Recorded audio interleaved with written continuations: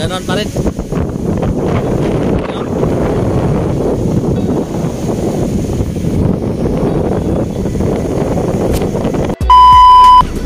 Hanggang dito sa Kodal ng Atlasa, umabot yung alon. Yun o. You know? Alright?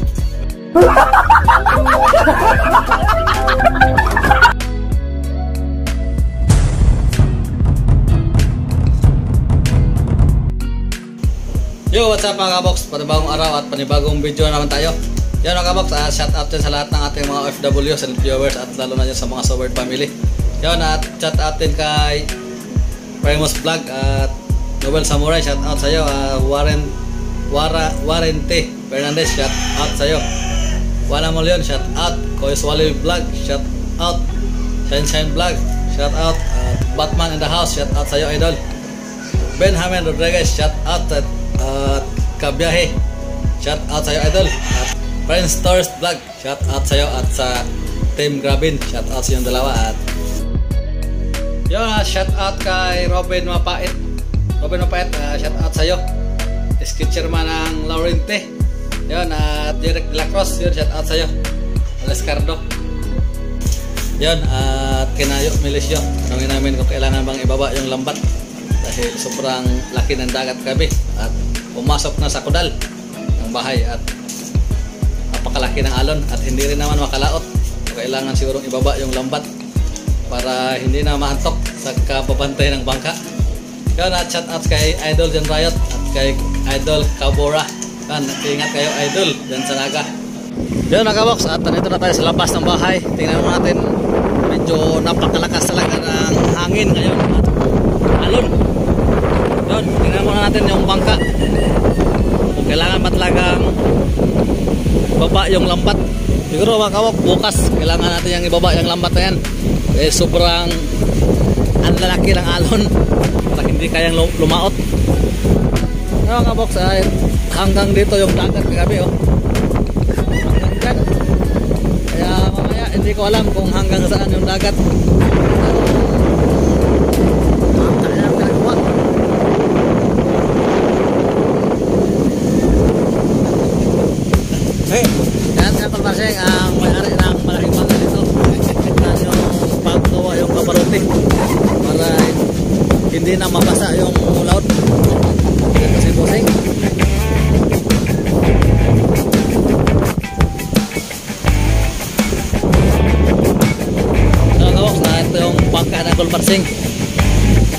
Bagong pinagawa niya ngayon lang.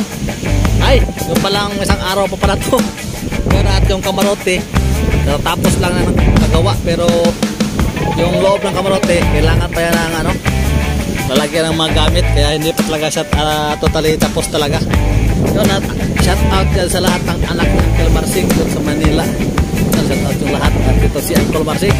Yung bangka niya pinagawa niya na. At kasama niya si Bustata. Wah! Ba kaya dagat gabi hanggang dyan.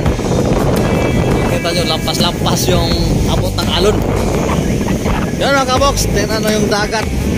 Noong una hanggang dito lang banda, pero ngayon, makikita nyo ang dagat hanggang dito na sa Kudal. Kaya, bisitahin natin yung bangka na idol. Kahapon pumunta ako dito pero hindi pa masyadong malaki yung dagat kaya balikan natin ngayon. Bisitahin, bisitahin natin kung hanggang saan yung dagat at kung wala pang nangyayari sa bangka na idol dahil wala dito kasi si idol ngayon makabox nandun siya sa naga. Kaya kailangan natin i-update yung bangka na idol para makita natin kung hindi ba siya na apektuhan ng napakalakas na alon kagabi at napalakalaki ng dagat. Pero kabok lang yung dagat kagabi hanggang dito sa Kodal ng Atlasa umabot yung alon. Pero tutuusin mo nung una. Hindi kaya kalaki yung alon. Ano kabok at malapit tayo sa bangka na idol. Nandyan na yung bangka na idol. Kasama ko si Sunshine Vlog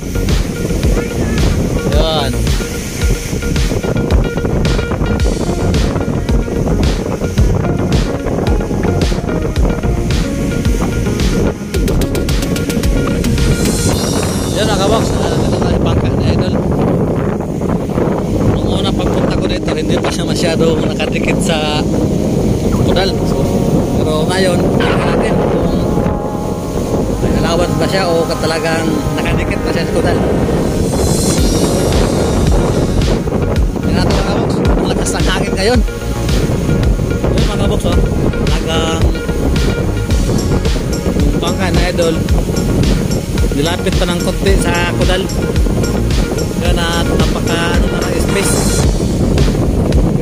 kung hindi mataas yung bantal nito, yung ganyan. Siguro inabot lang ito ng alon.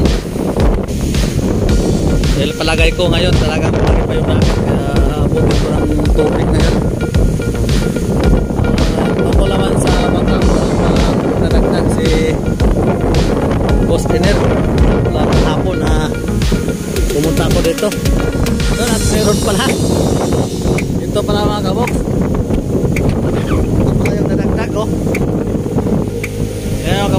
pala yung nadagdag.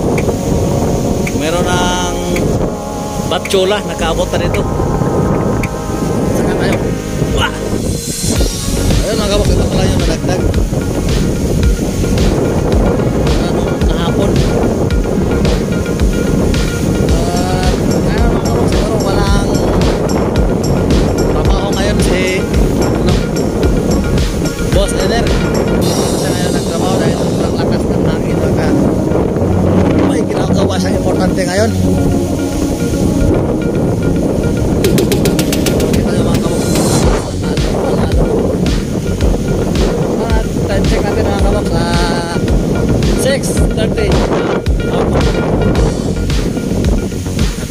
dito sa hulihan, wala pang pinagbago.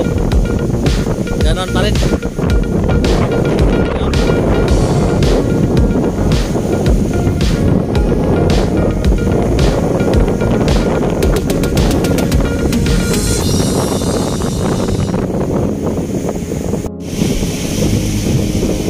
Ganun mga kaboks at ito dyan yung bandera ng tribo tribo wakwak nakikita nyo na nap- napakalakas ng hangin at